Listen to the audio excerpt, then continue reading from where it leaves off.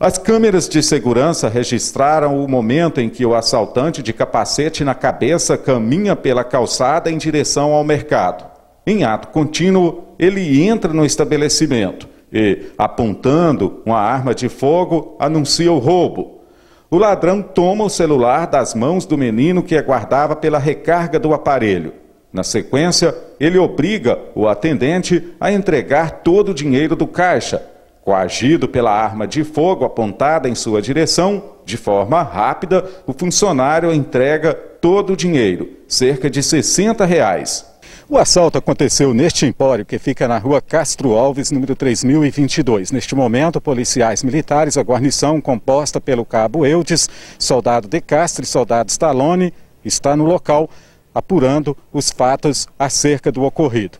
De acordo com uma das vítimas, o funcionário do estabelecimento de 33 anos de idade, o assaltante que estava de capacete na cabeça, bermuda, camiseta branca de estatura baixa, veio exatamente desta direção. Ele, segundo a vítima, que já estava ali no interior do estabelecimento, no caixa que fica do lado uh, direito da porta para quem está entrando no empório, percebeu que ele já sacava a arma. Agora o detalhe é que, segundo a vítima, não era uma arma qualquer não, era um revólver grande parecendo um trabuco. Após ter praticado o roubo, o ladrão não voltou pela direção que veio. Ele saiu exatamente aqui para o lado da Praça da Vila Paraíso, já que estamos aqui na Vila Paraíso 1, que fica bem próximo aqui do local, do outro lado da rua, ou seja, ao lado desta esquina onde a, o estabelecimento fica próximo aqui então deste cruzamento.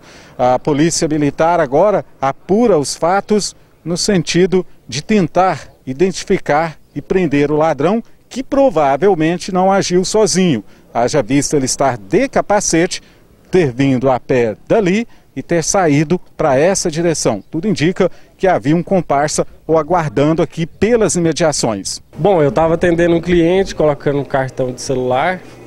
Ele chegou, falou calmamente, só quero dinheiro. Aí eu passei, o, coloquei a gaveta em cima, ele pegou o dinheiro, pediu o celular ao cliente, um, a criança, e perguntou se eu estava com meu celular. Eu falei, não, não estou com meu celular aqui não. E a, abriu os braços, ele pegou e saiu calmamente. E apontando a arma?